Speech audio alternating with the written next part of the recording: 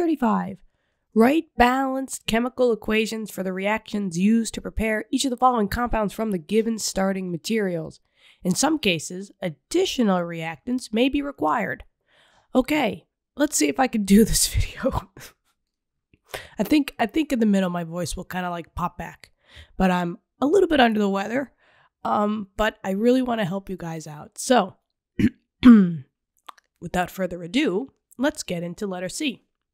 So, letter C says that we want gaseous H2S from solid ZN with S, so solid zinc and sulfur, via a two step process. And then they tell us that the first step, first, is a redox reaction between the starting materials and then a reaction of the product with a strong acid. Okay, so we know that we're dealing with two steps here, so let's focus from one step at a time. So let's do step numero one, or step hashtag one, right? Whichever is your preference. But back in the day, this was a number. So maybe step one or step number one. Maybe I'll just do step one. Okay. And now they say that first is a redox reaction between the starting materials. So let's figure out what the starting materials were. Well, we wanted gaseous H2S from solid zinc and sulfur. So by the wording here, if we're coming from this to that, that means that the solid ZN and S were the starting material. They were the reactants. That means that they'll be the left side. And this is what you ultimately want. You want the gaseous H2S as your product. So we need to do a redox reaction between the two starting materials. Those are your reactants. So Zn plus S. Now, a redox reaction just means that you're using charges. So you're using charges and there's a exchange of charges. So exchange of electrons more specifically because one of them, maybe the zinc or the sulfur, one of them is going to gain electrons and the other one's going to lose it. But we are combining these together to form a product, right? Because they say the reaction of that product. So we're going to just use the charges of what Zn and S make. And maybe I will put this over here. Now, on the periodic table, Zn is a transition metal. However, zinc only likes to have one charge. Zinc is a famous element uh, for being a transition metal, but it doesn't have multiple charges. Zinc is going to be a plus two charge. And sulfur, it's in group 16 or 6A on the periodic table, just below oxygen, so it follows that trend. And sulfur is a negative two. Now, since we have the charges, we can crisscross these charges to get how many of each we need for our compound. So the Zn crisscrosses down, telling me that I need two sulfurs.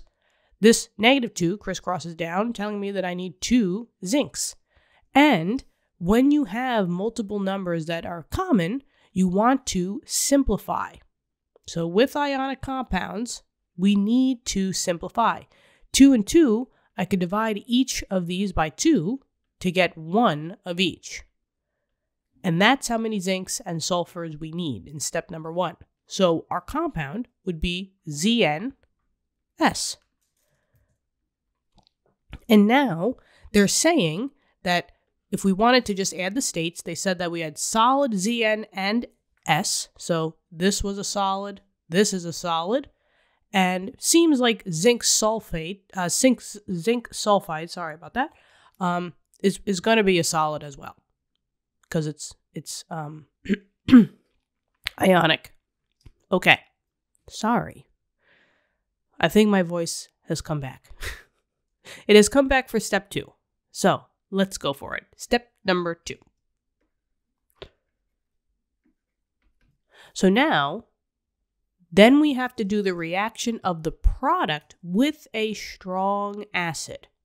So the product is the ZN. Whoa. The product is ZNS. And we now know that we need some type of strong acid. So maybe I'll just put that here. Strong acid. And we're going to get out the product that we ultimately want, that they said in the beginning. We wanted to produce that gaseous H2S. So we have H2S, and that's a gas because they told us that it was gaseous. But now, let's see.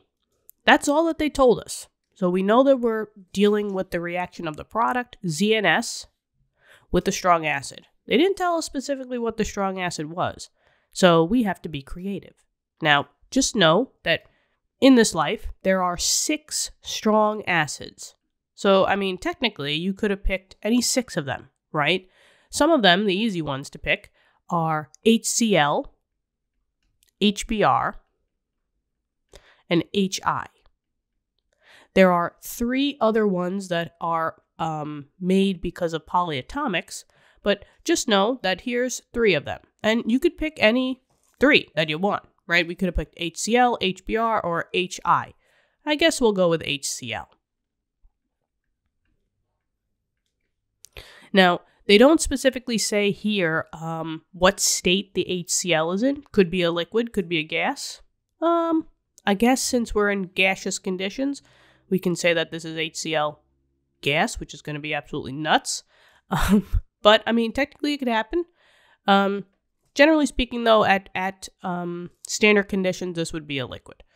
So they didn't say, so we'll just add it as a strong liquid, HCl. And now let's see. Well, we have our H, which is coming from here. We have our S, which is coming from here. But uh oh, remember with balanced equations, you have to have the same elements on both sides. So the H and the S are counted for on the product side, but where's the zinc and where's the Cl? Ah, we have to add that. This is a double displacement reaction because you have two products. Uh, not two products, you have two compounds. ZNS is a compound, HCl is technically a compound, so double displacement. The outers go with outers, the Zn goes with the Cl, and the inners go with the inners, H2S. So now we just have to find out the compound that is made between zinc and Cl. And we do it the same way as above. Zinc is famous because it's the transition metal that only has the one charge, which is a plus two. And the chlorine is in the halogen group, that's group 17 or 7A, so this is a negative one. That group is always a negative one charge. Use those charges, crisscross them down to see what's going on here. So this comes in with the 2, telling me that I need two chlorines, and this one tells me that I just need one zinc. So when I write the compound, it's got to be ZnCl2. Now we just need to talk about the solubility of ZnCl2 if you want to. Um, but just know that on your solubility rules, um, chlorine is generally soluble, which means aqueous, except uh, when it is with some metals, but zinc is not on that list. So this would technically be soluble, and this would be classified as AQ. Now, if we are going to put AQ down for ZnCl, which is totally fine, right? They didn't, they didn't specify what state this compound is going to be in. We'll just manipulate the HCl since we're in aqueous, which means that we're in water. All your strong acids will also be aqueous as well. So I'll just put AQ here. But I mean, this we just did because of solubility, but could you have maybe put, you know, a solid there? Sure doesn't really matter to me. The idea here is to just get down those um, compounds here. And these are your two steps. So let's maybe put little stars next to them. so here's step one, and then here is step two, and we are done. What do you think? Okay. I hope this helped. Let me know in the comments. I love talking to you guys, and I hope you're having a great day out there. Keep studying hard. Let's crush those exams, those quizzes, homeworks, whatever it is. I believe in you guys. And I, you know, thank you so much for being part of this community. Thank you for coming here to get help on your classes. We also got physics and math videos on the moment uh, on the channel with more subjects to come. Uh, my brother and I, we, we love helping you guys out, and, and thank you so much for you know being here. So yeah, with with that being said, I'll talk to you soon. Have an awesome day. Bye bye.